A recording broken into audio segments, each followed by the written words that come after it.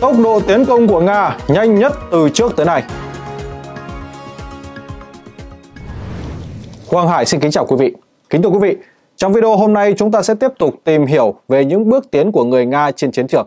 Bên cạnh đó là những đánh giá của các chuyên gia phương Tây về kịch bản leo thang của Nga trong những ngày tới. Và ngay sau đây sẽ là nội dung chi tiết. Nga tiến vào Ukraine với tốc độ nhanh nhất từ trước tới nay. Mọi sự chú ý hiện tại đang tập trung về mặt trận Kurakovo bởi vì hướng tấn công này của Nga có thể trở thành chất xúc tác gây ra sự sụp đổ của các tuyến phòng thủ Ukraine.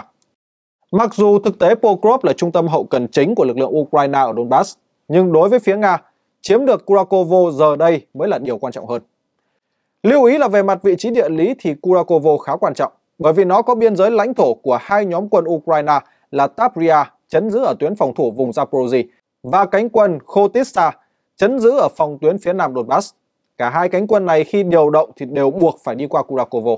Do đó, một khi thành phố này bị uy hiếp, lực lượng Ukraine ở phía nam hồ chứa sẽ không thể trợ giúp được lực lượng Ukraine ở bờ Bắc. Hơn nữa, trong trường hợp chiếm được Kurakovo, Nga sẽ mở rộng hoạt động về hướng Tây Nam, hướng tới Orekhov và uy hiếp được nhóm quân phía Bắc ở Slavian, Krasmatorsk của Ukraine. Kết quả là quân đội Ukraine sẽ phải rút lui hàng trăm km qua thảo nguyên trời trụi để đến tuyến phòng thủ mới đang được xây dựng gấp rút giữa Pavlograd và Zaporozhye. Có thể coi Kurakovo là một vị trí chốt chặn của hệ thống phòng thủ Ukraine trong khu vực. Nếu thành phố này thất thủ thì nó sẽ mở đường cho quân đội Nga tiến tới trung tâm hậu cần Pokrov, đồng thời giúp họ tấn công sâu hơn vào tuyến đường bộ và đường sắt dẫn đến các thành phố chiến lược ở Krasmatos. Đây cũng là nơi sẽ tiếp cận được thành phố Dnipropetrovsk. Ngoài ra thì thành phố Kurakovo cũng có vai trò quan trọng đối với Kiev về mặt kinh tế, bởi vì đây là nơi duy nhất mà Ukraine kiểm soát việc sản xuất than cốc. Nói tóm lại thì việc mất trung tâm hậu cần này sẽ khiến Ukraine khó khắc phục được các tổn thất về quân sự, kinh tế và tài chính. Hiện tại lực lượng Nga được cho là đang tràn vào Ukraine với tốc độ nhanh nhất kể từ những ngày đầu xung đột năm 2022. Theo Reuters, trong tháng qua thì Nga đã chiếm được một khu vực bằng một nửa kích thước của London. Hãng tin này cũng cho biết cuộc chiến đang bước vào giai đoạn mà một số quan chức Nga và phương Tây cho rằng có thể là giai đoạn nguy hiểm nhất với việc Nga được cho là đang sử dụng quân đội Triều Tiên, còn Kiev thì hiện tại đang tấn công lãnh thổ Nga bằng tên lửa do phương Tây cung cấp. Nga đã lập kỷ lục mới hàng tuần và hàng tháng về quy mô lãnh thổ chiếm đóng được ở Ukraine, tiến lên gần 235 km vuông trong tuần qua. Đây là một kỷ lục. Pasis Paroine là một nhà phân tích quân sự Phần Lan cho biết lực lượng Nga đã kiểm soát được khoảng 667 km vuông chỉ riêng trong tháng 11. Hiện tại thì những khó khăn nổi bật nhất đã được chính các tướng lĩnh quân sự của Kiev và phương Tây thừa nhận. Chẳng hạn, chỉ huy lữ đoàn tấn công số 3 là Andriy Bilatsky đã nêu bật một số điểm chính như sau. Thứ nhất, cuộc chiến hiện tại đã bước vào giai đoạn đầy thách thức với các điều kiện ở tiền tuyến hiện còn khó khăn hơn cả mùa xuân năm 2022. Lý do là do quân đội Ukraine thiếu nhân sự, đào tạo không đầy đủ và các vấn đề về động lực chiến đấu cũng như lòng tin trong hệ thống phân cấp quân sự. Thứ hai, mùa đông sẽ không làm chậm đáng kể tốc độ chiến đấu của Nga, ngay cả khi thời tiết hạn chế khả năng cơ động của xe cộ. Chiến thuật bộ binh của Nga sẽ không thay đổi bởi vì họ dựa vào các nhóm nhỏ tiến quân các quãng đường ngắn. Đối với Ukraine thì mùa đông đặt ra những thách thức nghiêm trọng, đặc biệt là đối với các hoạt động của máy bay không người lái do thời tiết hạn chế tầm nhìn. Thứ ba, đó là sự tham gia của Triều Tiên rất đáng lo ngại. Đáng lo ngại ở chỗ nó có cơ sở công nghiệp quốc phòng chứ không phải là quân đội của họ. Thứ tư, đó là hệ thống huấn luyện quân sự và huy động của Ukraine. Sự ngờ vực trong các quy trình tuyển dụng không được đào tạo đầy đủ, các sĩ quan cấp dưới không đủ tiêu chuẩn chỉ huy đã làm nản lòng những tân binh. Trong khi đó thì 80% những người được huy động chưa từng ra trận. Thứ năm, đó là việc duy trì động lực chiến đấu cho người lính sẽ không thể chỉ bằng những bài phát biểu cổ vũ, mà nó còn là các kế hoạch tác chiến rõ ràng, sự lãnh đạo hiệu quả, nguồn lực đầy đủ và chăm sóc toàn diện, nguồn cung phù hợp và chăm sóc y tế.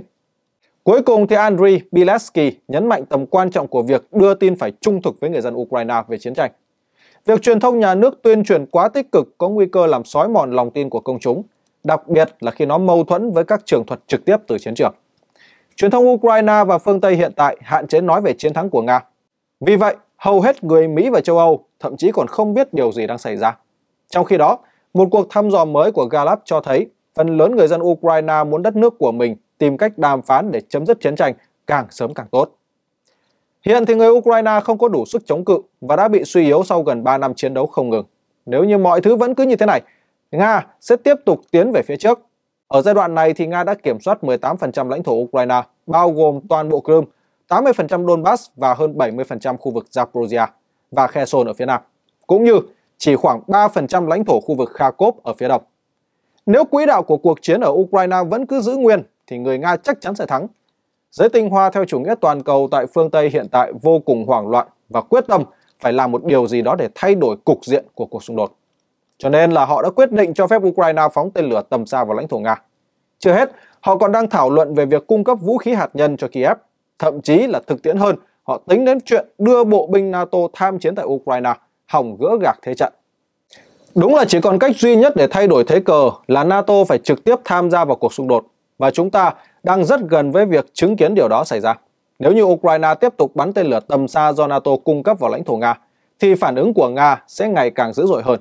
Cuối cùng, người Nga có thể làm điều gì đó rất kịch tính đến mức khiến cho NATO có lý do để tham chiến. Và đó chính xác là những gì mà những người theo giới tinh hoa phương Tây đang mong muốn. Ngoại trưởng Nga Lavrov nói như sau. Các cuộc tấn công bằng tên lửa sâu bên trong lãnh thổ Nga là một bước leo thang. Tất cả các cảnh báo của chúng tôi rằng những hành động này là không thể chấp nhận được sẽ phải đối mặt với những phản ứng thích đáng thì đều đã bị bỏ qua. Ngày càng có nhiều thông tin hé lộ hơn về siêu phẩm Oresnik của Nga. Nó đang được chính giới chuyên gia quân sự phương Tây nhận định là một hệ thống vũ khí mang tính đột phá. Bộ Quốc phòng Nga ra tuyên bố bất thường. Liệu Nga có tung đòn trả đũa thích đáng?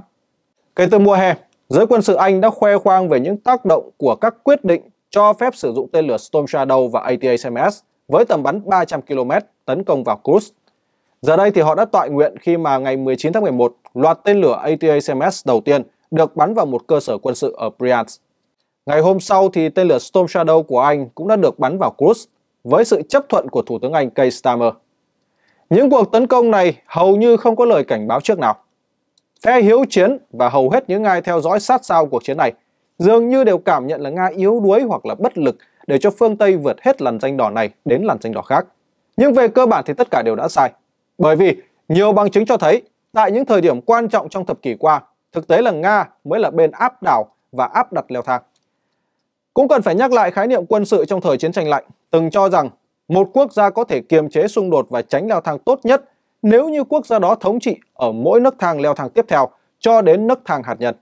Từ đây thì chúng ta cần phải nhìn lại kể từ cuộc khủng hoảng Ukraine nổ ra năm 2014, Nga đã tìm cách thống trị từng bước leo thang. Việc sát nhập Crimea vào năm 2014, sau đó là cuộc tấn công Ukraine vào tháng 2 năm 2022 là những bước leo thang lớn của Nga mà NATO đã không dám đối mặt trực tiếp. Ngay cả trong lĩnh vực ngoại giao thì Nga cũng thống trị leo thang. Vào năm 2017, họ trục xuất 755 nhân viên ngoại giao Mỹ tại Nga về nước. Khi Nga leo thang quá mức thì họ đánh cược rằng đối thủ của mình sẽ không sẵn sàng tiến thêm bước nữa để tránh dẫn tới xung đột hạt nhân. Chưa kể đến việc Nga sẽ vượt trội hơn một liên minh phương Tây luôn chia rẽ khi mà phải đối mặt với các quyết định hành động quan trọng. Họ có thứ mà phương Tây không có, đó chính là quyền lực tối cao và ý chí chính trị đủ mạnh để hành động đơn phương. Mặc dù đây cũng là điều mà phương Tây thường gọi là độc tài. Tuy nhiên, chính cái đầu lạnh của Putin đã khiến cho chiến tranh hạt nhân vẫn chưa xảy ra, dù cho phương Tây nhiều lần leo thang khiêu khích. Bản thân ông Putin đã phải chịu sự chỉ trích từ những người theo đường lối cứng rắn ở Nga rằng ông ấy không phản ứng hoặc phản ứng chậm trễ khi mà NATO ngày càng tăng cường hỗ trợ quân sự cho Ukraine. Như đã đề cập trước đó thì việc Ukraine được phép sử dụng ATACMS khiến cho ông Putin không còn lựa chọn nào khác ngoài việc phải đáp trả. Mặc dù ông ấy tuyên bố là sẽ làm như vậy vào tháng 9, nhưng phải đến ngày 21 tháng 11 thì Nga mới phóng một tên lửa siêu thanh có tên là Oresnik vào nhà máy sản xuất tên lửa Yuzmas của Ukraine ở Dnipropetrovsk. Đây là lần đầu tiên một tên lửa tầm trung được phóng đi trong cuộc xung đột và việc sử dụng nó có ý nghĩa quan trọng vì một số lý do chính sau đây. Đầu tiên, vụ phóng tên lửa Oresnik thực tế là một sự leo thang lớn có khả năng hủy diệt. Nga đã không thể phá hủy nhà máy Yuzma kể từ năm 2022 bằng cách sử dụng vũ khí thông thường. Bởi vì nhà máy này được xây dựng trong thời kỳ Liên Xô, các xưởng sản xuất của nó nằm sâu dưới lòng đất và có thể chống chịu được các cuộc tấn công bằng vũ khí thông thường. Nhưng quan trọng hơn, nhà máy này chính là nơi mà tập đoàn quốc phòng Remental lớn nhất của Đức chọn để sửa chữa xe tăng Leopard. Nó cũng được sử dụng trong sản xuất tên lửa và máy bay không người lái tầm xa. Thiệt hại từ cú tấn công bằng tên lửa Oresnik gây ra lớn hơn đáng kể so với các cuộc tấn công thông thường trước đó. Đoạn video về cuộc tấn công là đáng kinh ngạc, với những mảnh ánh sáng nóng chảy phun ra từ đám mây tấn công vào nhà máy. Nó là một cuộc trình diễn có tính gây sốc và kinh hoàng. Tuy nhiên, thì Reuters vào ngày hôm qua 27 tháng 11 xác nhận tuyên bố của Điện Kremlin rằng tên lửa mới của Nga bắn vào Dnipro có một số đầu đạn là không có thuốc nổ. Tức, đây là một tín hiệu chứ không phải là một cú đánh. Dù vậy thì những nhân chứng cũng đã cảm nhận được tại hiện trường Chusma không khác gì những miệng núi lửa.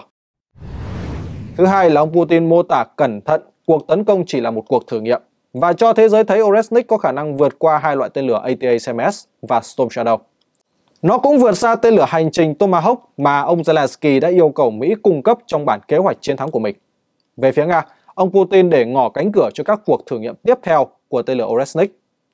Mỹ, Anh hay là Pháp có thể sẽ đẩy Ukraine vào tình thế còn nguy hiểm hơn khi mà Nga đang sở hữu một loại vũ khí có sức tàn phá lớn có thể được sử dụng để phá hủy các mục tiêu chiến lược ở hậu phương hoặc trên chiến trường. Và nó vượt trội hơn so với việc sử dụng ATACMS hoặc Storm Shadow tấn công vào bên trong nước Nga, cả về tầm bắn lẫn tải trọng thuốc nổ. Theo cựu sĩ quan tình báo Scott Ritter, tên lửa Oresnik không giống bất cứ thứ gì mà chúng ta từng thấy trước đây. Mục tiêu nhà máy quân sự bị Oresnik tấn công bị trúng 6 đầu đạn độc lập, mà mỗi đầu đạn lại chứa 6 quả đạn con. Tổng cộng là cơ sở tại Dnipropetrovsk bị tấn công bởi 36 quả đạn riêng biệt, gây ra thiệt hại tàn khốc bao gồm cả cơ sở sản xuất ngầm được Ukraine và các đồng minh NATO sử dụng để sản xuất tên lửa tầm ngắn và tầm trung. Còn theo giáo sư Theodore Postol của Viện Công nghệ Massachusetts và là chuyên gia công nghệ tên lửa hàng đầu tại Mỹ, ông ấy cho biết rằng không có hệ thống phòng thủ tên lửa nào hiện nay trên thế giới có thể đánh chặn được tên lửa đạn đạo tầm trung mới của Nga. Ông bác bỏ tuyên bố rằng các hệ thống phòng thủ tên lửa hiện có của Mỹ và phương Tây bao gồm có Aegis, Aegis Ashore, THAAD, Patriot, vòm sắt có thể chống lại Oresnik. Người Nga đã bắt đầu sản xuất hàng loạt tên lửa Oresnik mới và việc sử dụng chúng phổ biến trong tương lai có thể khiến ATACMS cùng với Storm Shadow trở thành đống sắt vụn. Thứ ba, đó là tầm bắn của Oresnik lớn hơn gấp 16 lần so với ATACMS và Storm Shadow. Điều đó đặt bất kỳ mục tiêu nào của NATO trong phạm vi tấn công của nó. Cuộc tấn công hôm 21 tháng 11 cho thấy Oresnik có khả năng phá hủy dễ dàng các cơ sở sửa chữa thiết bị có giá trị của phương Tây tại Jusmas. Đồng thời, nó khiến cho phe cứng rắn tại Nga cảm thấy hài lòng rằng tên lửa mới của họ đã đưa Nga tiến lên hai bậc trong nấc thang leo thang. Nhưng mà đáng ngạc nhiên đó là, ngay cả khi cuộc tấn công Oresnik xảy ra, thì chính quyền ông Biden vẫn tiếp tục chọc tức Moscow bằng cách chỉ đạo cho Ukraine bắn tên lửa ATACMS lần thứ ba vào các mục tiêu ở Nga. Và đây là lần thứ hai trong số 3 lần liên tiếp Kiev sử dụng ATACMS của Mỹ. Điều kinh ngạc hơn đó là Bộ Quốc phòng Nga đã tuyên bố một cách bất thường rằng họ công khai xác nhận hai cuộc tấn công như vậy đã diễn ra. Tuyên bố có đoạn như sau. Vào ngày 23 tháng 11, kẻ thù đã bắn 5 tên lửa chiến thuật ATACMS do Mỹ sản xuất vào vị trí của một tiểu đoàn phòng không S-400 gần Lotarevka, cách Kursk 37 km về phía bắc. Vào ngày 25 tháng 1, thì chế độ Kiev đã thực hiện thêm một cuộc tấn công bằng 8 tên lửa chiến thuật ATACMS vào sân bay Kursk Vostokny gần Kalino. 7 tên lửa đã bị bắn hạ bởi hệ thống S-400 và Panzer. Một tên lửa đã bắn trúng mục tiêu. Vậy là Bộ Quốc phòng Nga đã chính thức công nhận các cuộc tấn công mới bằng vũ khí tầm xa của phương Tây. Điều này có nghĩa là họ quyết định không còn đi chạy con đường của mình nữa. Nga sẽ áp đặt thêm leo thang. Và sắp tới sẽ có những phản ứng quan trọng liên quan đến Ukraine. Về mặt quân sự, ba cuộc tấn công tầm xa vào Nga cũng không liên quan và cũng không thể thay đổi được diễn biến trên chiến trường Ukraine. Nhưng nó là chứng minh rằng các chính phủ Mỹ và EU đang phải tìm mọi cách để thoát khỏi con tàu đắm trước khi Trump chính thức nhậm chức. Các nỗ lực leo thang tận cùng bao gồm có cho phép Ukraine tấn công tầm xa, kế hoạch gửi quân NATO tới Ukraine, thậm chí là trang bị vũ khí hạt nhân cho nước này. Và mới nhất là chính quyền Biden sắp mãn nhiệm đang tìm cách để có thêm 24 tỷ đô la gửi cho Ukraine tiếp tục thúc đẩy cuộc chiến với Nga. Mặc dù yêu cầu này được cho là quá xa vời bởi vì còn cần phải sự chấp nhận của Quốc hội nữa, nhưng nó cũng cho thấy quyết tâm của thế lực ngầm. Trong khi chính quyền ông Biden đang yêu cầu Quốc hội sớm phê duyệt thêm hàng tỷ đô la cho Ukraine, họ cũng đang yêu cầu chính quyền Kiev phải hạ độ tuổi nghĩa vụ quân sự từ 25 xuống còn 18 tuổi, như là một sự trao đổi để đổi lấy dòng tiền viện trợ. Hãng tin AP vào hôm 27 tháng 11 viết rằng Phía Ukraine tin là họ cần thêm khoảng 160.000 quân, nhưng chính quyền Mỹ cho rằng sẽ cần nhiều hơn thế. Và chúng ta sẽ cùng chờ xem trong 50 ngày tới thì phương Tây còn chiêu gì để kéo dài cuộc chiến Ukraine hay không. Bài bình luận ngày hôm nay của chúng tôi xin được kết thúc tại đây. Cảm ơn quý vị đã quan tâm theo dõi. Xin chào và hẹn gặp lại trong các chương trình tiếp theo.